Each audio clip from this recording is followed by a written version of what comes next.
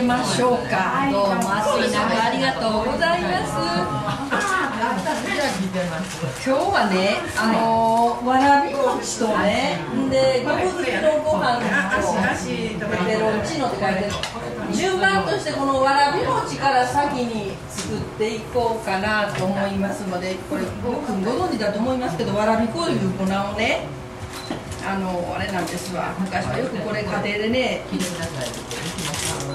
ってたんですけど、大体さあの。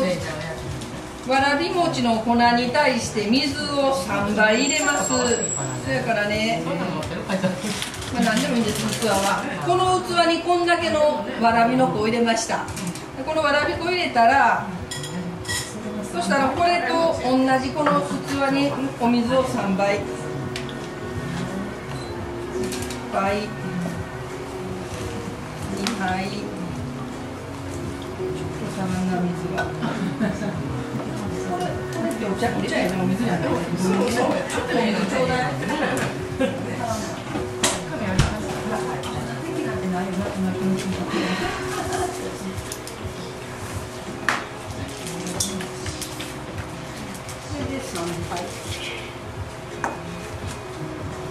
これで3杯ですよね。はい。入れました。それで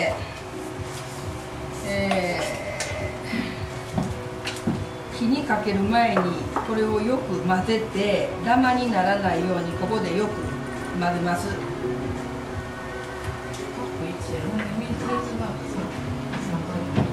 水は3倍です、うん、お粉のお粉の3倍ですからこのカップに1杯のわらび粉でしたらこのカップに3倍のお水。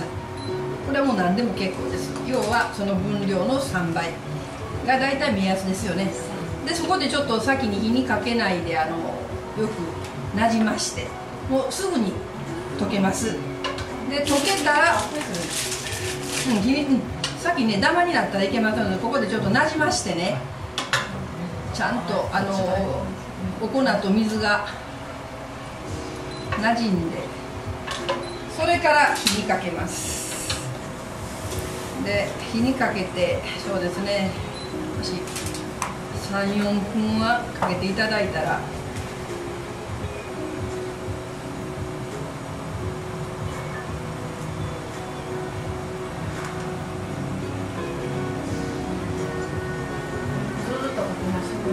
うん、飛んでなかったらねあの片栗粉と一緒でね固まってくるんですよ。でその塊がね透明になるんですけれどもムラになるのでこうやっぱりしょっちゅうこうかき混ぜていただいてる方がいいでしょうね。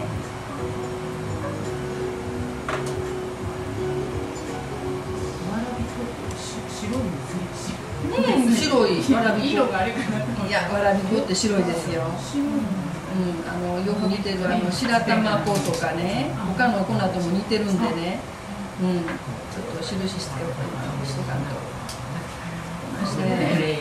ねこれをねこうして練ってるうちにだんだんとこう粘りが出て片栗粉よくねあの練りはったことありません？昔小さい時に風邪ひいたとか何とか言うて。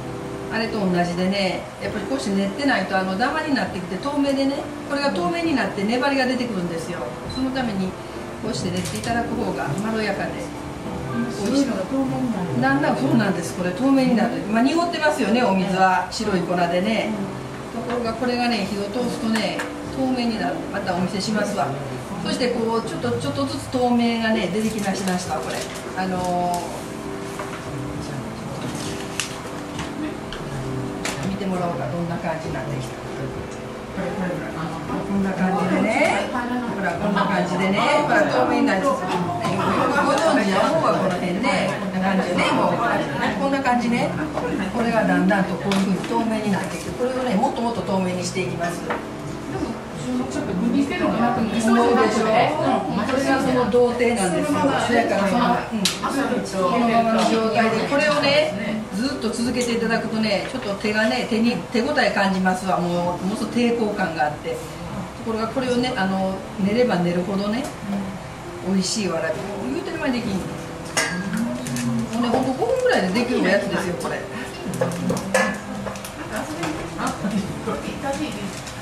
ら2分ぐらいあそうなんですまあねあもうそんなに早い早いよ。もうほらもうこんな感じ。うんそうよ。あ向こうか。秋の向こうはうどん屋さんがいっぱいうどん屋さんもなんかお店がずっとあ逆の方そうそうそうそう関西がカップ一杯でこんだけできます。もうこんな感じ。いや。早いでしょ。ここでね寝れば寝るほどねやっぱし。ついついわらび粉っていうかわらびのような色になるのかな。ちょっとちょっと緑っぽいような色になるのかな分かってないもう面倒くさくて体が高くこれですね今で。あそんなからあのこないも絵が通ったという方がいっぱいいてたからね。いや、そうそうそう。ベテランからね。してね。はい。これね。これが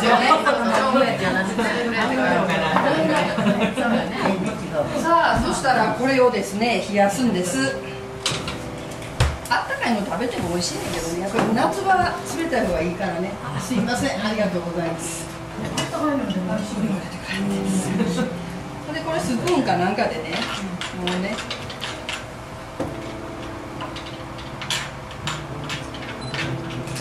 そうだね。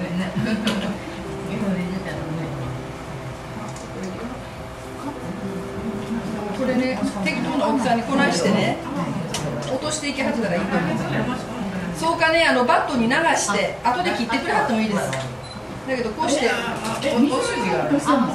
うよ水の中に落としてこれ水ね。これお水の中にちょっと氷入れてます。冷たいですそこへこの今できたこのわらび粉をねあのわらびのたあの種をこうして落としていきます。で粗熱を取ります。もうもうそんなんしないで。こないしてねポトンポトンと落としていった方がね早いことね。これ水変えたら本当はねいいんやけどね。ちょっとここ場所柄水不足ち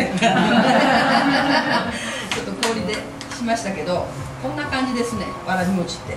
だからもう糸簡単よ。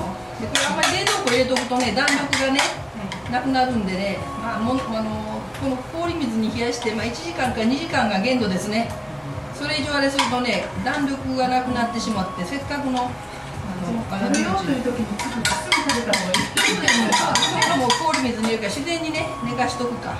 あんまり冷蔵庫入れとくと。一応本で形としてはできました。これをねちょっとまあ置いといてあのあれですね。あとこの水気を切ってあときな粉と。そしたらこなして置いときましょうかね。あのあとちょっとペペロンチーノができるまでね。はいこれで一つ出来上がり。すみません。さあそしたら次ペペロンチーノこれはねあのひじき。ひじき水戻ししました。あのものの20分ほどで水戻ししてこれあの一袋のうちの半分です。ちょっとあと半分はあの違う置いてきましたけどこれ半分です。でこれを火にかけてそして、え、にんにく一かけ。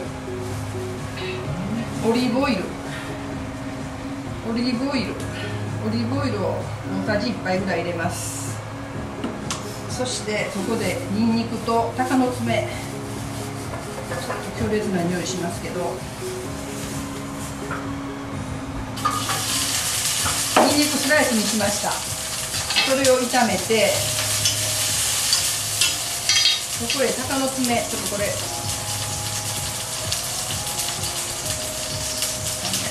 ちぎって。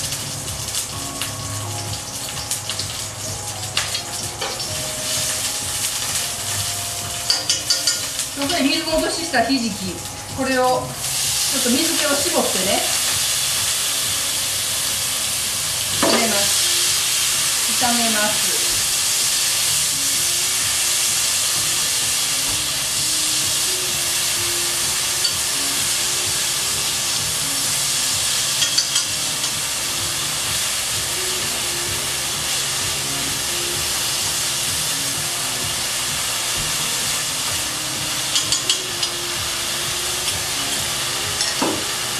そしたらそしたらあ大変や、す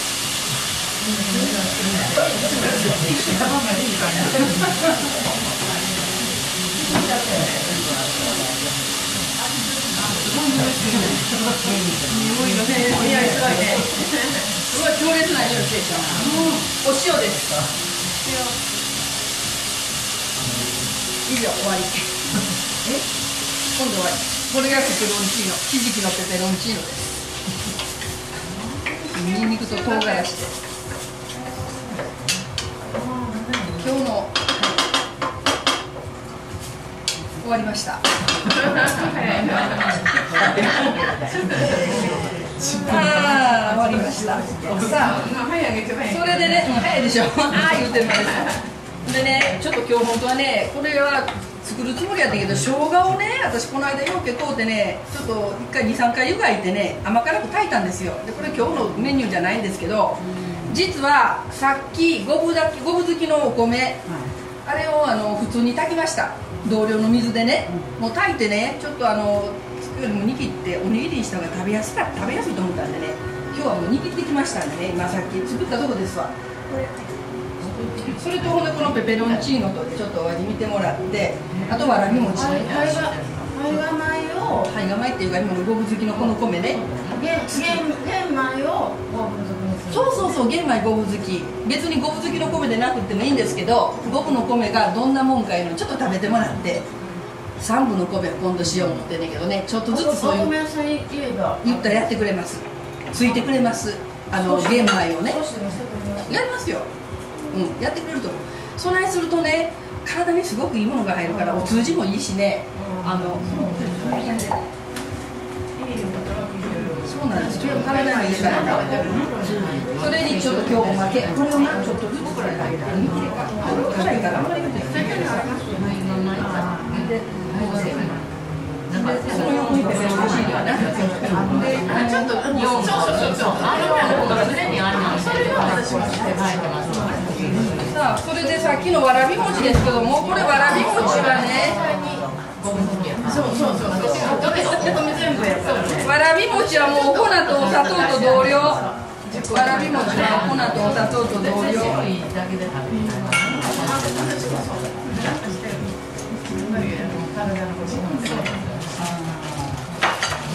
で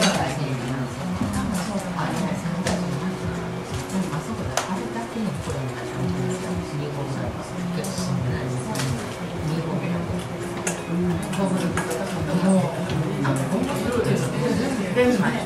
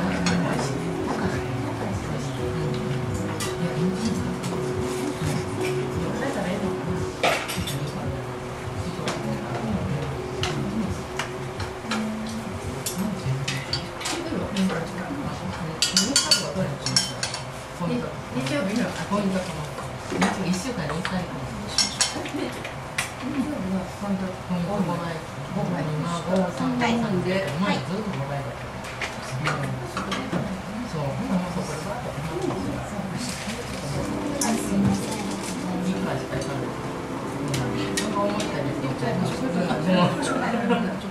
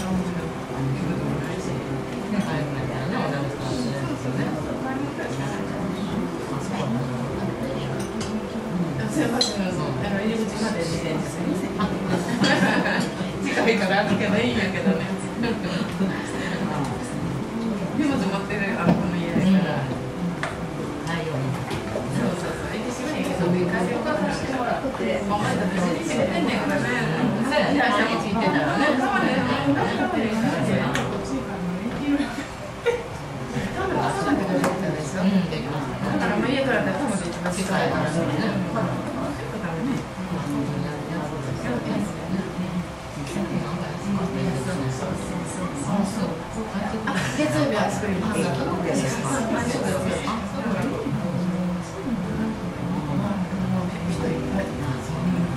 アイスクリームとかはい。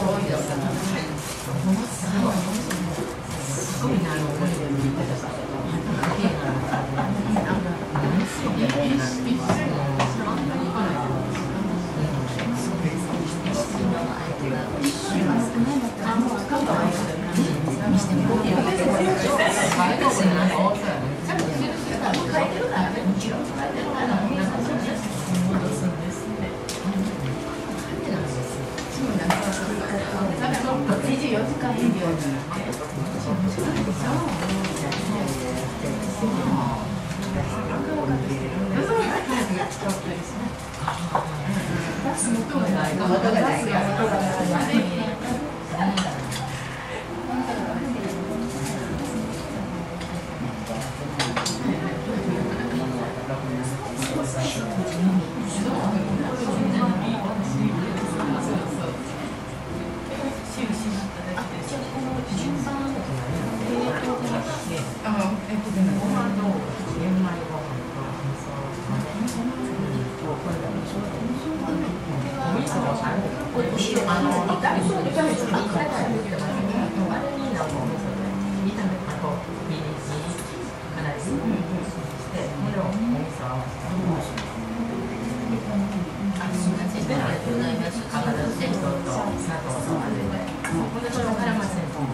ワン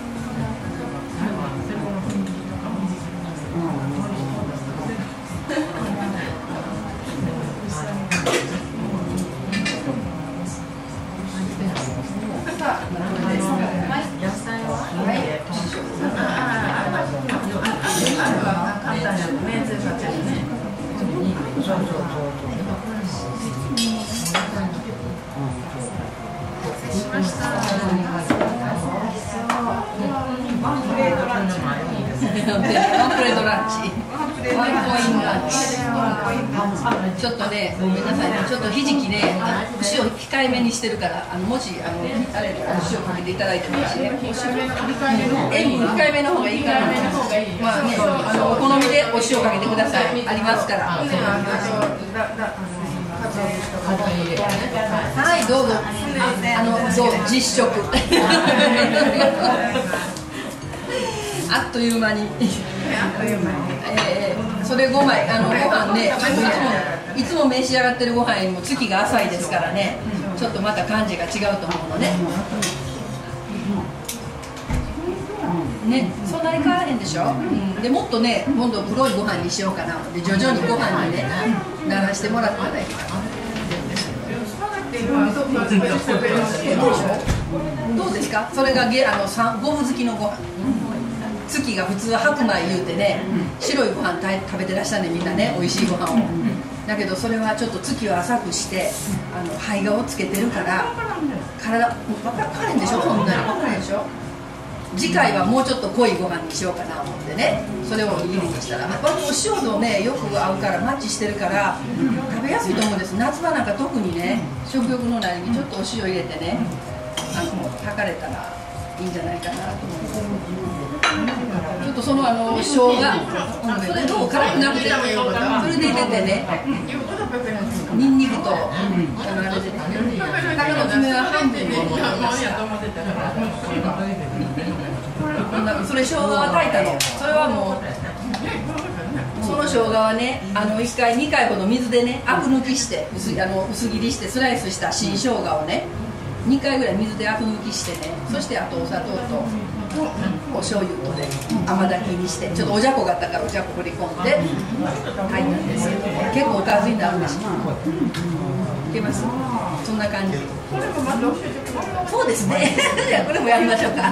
新生姜の時期ねそうですよね。ちょっとちょっとずれてしまったんでね。新生姜の時にね。なるほど厚抜きしたら簡単に保存食やからねちょっと置けますやろ？そうですね。そしたらね、うん何もない時でも生姜やから体カッカする。し、あそうね。えーとまあ暑い時ですのでこんな感じで何を？いやいやもう生姜を炊くの。生姜ねもうスライスするでしょ。してねグラグラグラとお鍋で水から放り込んでねでグラグラと炊いて炊いたらまた1回掘ってでまた水入れて2回ぐらいねグラグラと炊くの。そしたらその辛みっていうの？生姜の辛みが抜けるでしょ。抜いといてそれで3回目ぐらいからねあのお砂糖とお醤油と入れてね味付けしはったらそしたら保存食になったらあのほんと煮詰めていけはったら新生姜しかダメいや、そんなことない、いけますよ、ただ、今言ってるように、ひね生姜やったらね、やっぱアクが強いからね、あのちょっとあの2回か3回ぐらいね、もしのやったら、湯がきはったらどうやろうか、新生姜の香りがいいしね、新生姜の方がいいと。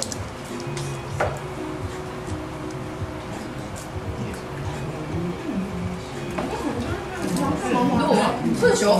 だからねちょっとでもね月を浅くして食べる訓練なさったらねもうねこういうふうに食べていきはったら今度玄米食べたら玄米でなかったらね頼りないっておっしゃるわうちのお客さんでもね。あの月を浅くしてもう最終的には玄米か一分好きぐらいにする。のそしたらねお米の美味しいところがみんなつぶあのついてるわけでしょ？でそのお米のいいところがみんなぬかになってるからぬかでお漬物つけたらぬか漬けで美味しいけどあの栄養栄養がみんなぬかになるからね。それをつけての今食べてらっしゃるわけやからね。はい。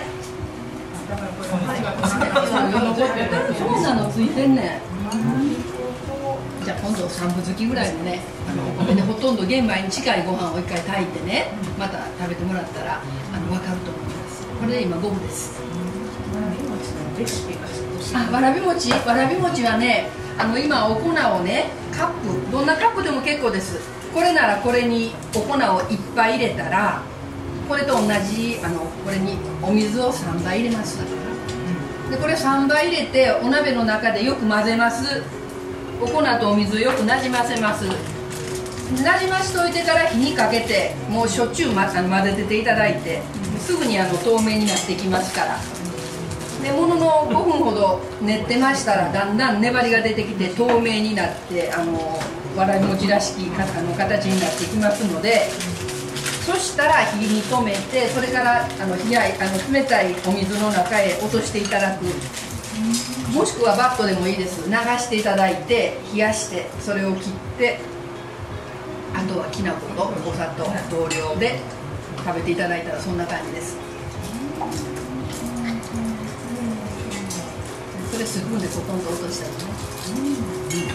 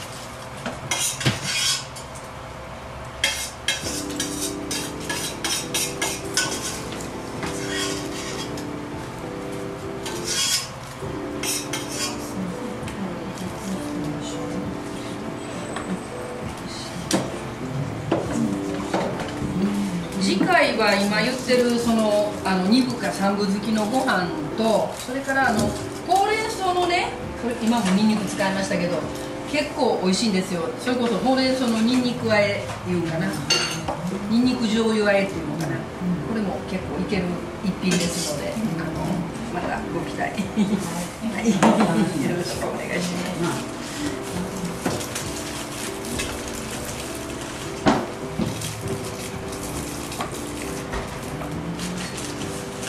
第一火曜日も決まってるそうですね、大事火曜日がいいかなと思ってるんですが、運動の方いかがですか？沖縄の方がいいですねはい、そうですか。じゃあそういうことで当分またよろしくお願いいたします。